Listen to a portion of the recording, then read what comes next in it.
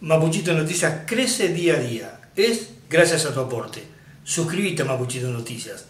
Dale clic a la campanita.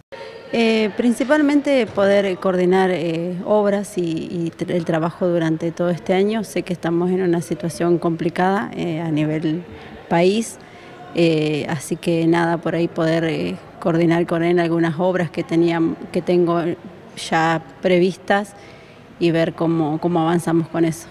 Entre estas obras, ¿cuáles son las que se destacan? Principalmente una obra de nuevos, de unos loteos que tenemos en Pilca y queremos ver si podemos eh, hacer una obra de los servicios de esos lotes. Eh, la luz y el agua serían los servicios esenciales para poder empezar a trabajar en los lotes. Estamos también con la fiesta de aniversario en febrero, así que también por ahí estuve planteándole algunas cuestiones con con, el, con respecto a la fiesta aniversario, de las, eh, trabajamos en conjunto con las instituciones, tenemos algunos, algunos problemas con el patrullero en el área de la policía, de, en salud, así que poder, le pude plantear todos esos puntos.